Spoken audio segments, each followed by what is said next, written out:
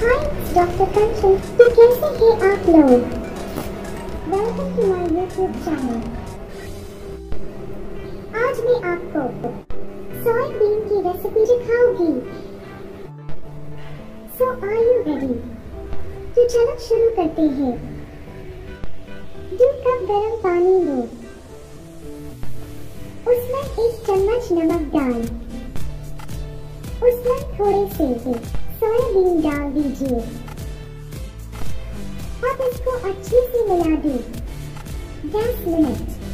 ढक के रख दो। 10 मिनट बाद। एक पैन लो, उसमें थोड़ा सा पानी डालो। पानी के थोड़ा गर्म होने के बाद मैं इसमें डाल रही हूँ सोया सॉस, जो कि आप देख सकते हैं। Okay. Mix it, mix. Mix it ये जिंजर गार्लिक पेस्ट अदरक लहसुन का पेस्ट इसको भी मिला दो अच्छे से ओके अब इसमें थोड़ा सा एक चम्मच नमक छोटा चम्मच ओके इसको भी मिला दिया अच्छे से दो ग्रीन चिली हरी मिर्च just for the flavour mix it mix it again mix it थोड़ी देर बाद इसको थोड़ा गर्म होने देते हैं और जो भीगे हुए जो सोयाबीन के सोयाबीन या सोया चंक्स जो भी है, उनको मिला देते हैं। इट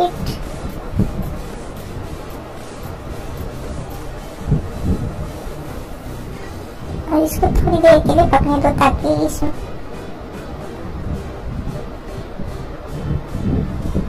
साथ ही साथ हम उनकी सॉसेज तैयार कर लेते हैं। ये मैंने लिया है थोड़ा सा कॉर्नफ्लोर मक्के का आटा, इसमें पानी डाल के मिक्स कर लिया साइड में रख दिया। अब दूसरी कटोरी में मैं ले रही हूँ soya sauce red chilli sauce इसको मिक्स कर लिया अच्छे से।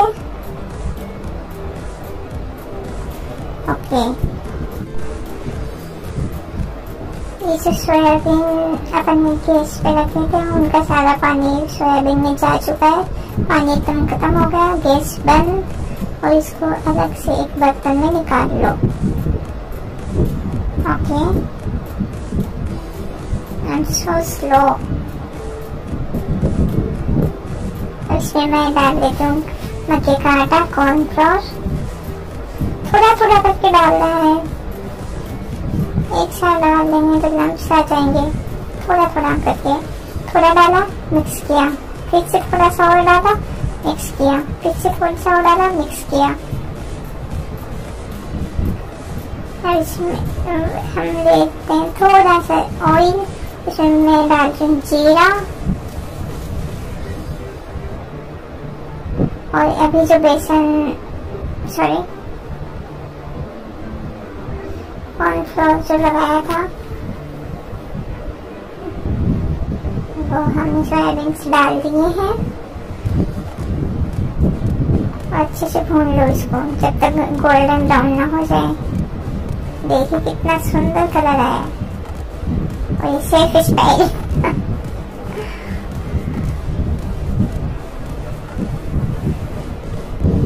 दूसरा पैन में जाओ इसके अंदर मैं डाल रही हूँ ऑयल और स्लाइस्ड ऑनियंस ध्यान रखिए प्याज को छोटा छोटा नहीं काटना है स्लाइस करके काटना है। थोड़ी सी हरी मिर्ची you can skip green chilli उसको थोड़ा सा गोल्डन ब्राउन होने तक पकने देंगे।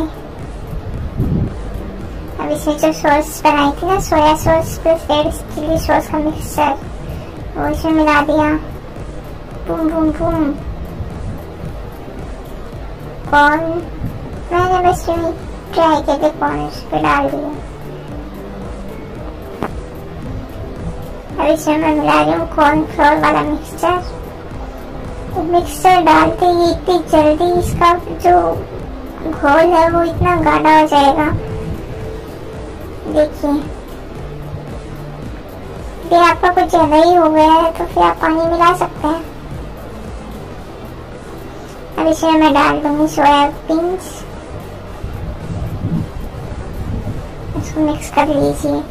यदि आप मेरी इस स्टाइल से आप सोयाबीन्स बनाएँगे ना तो बहुत ही टेस्टी लगेंगे। बहुत ही टेस्टी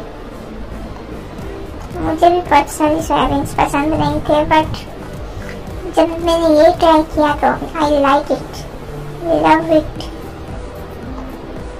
ये कितना सुंदर कलर आया है। सोयाबीन के जो पौष्टिक न्यूट्रिशियस जो वैल्यूज़ है वो मैं लास्ट में आपको दे रही ये देखिए कितना प्यारा है, कितना प्यारा। ये बन के तैयार है। यहाँ पे सोयाबीन की बेनिफिट्स देख लीजिए आप ध्यान से। Okay bye thank you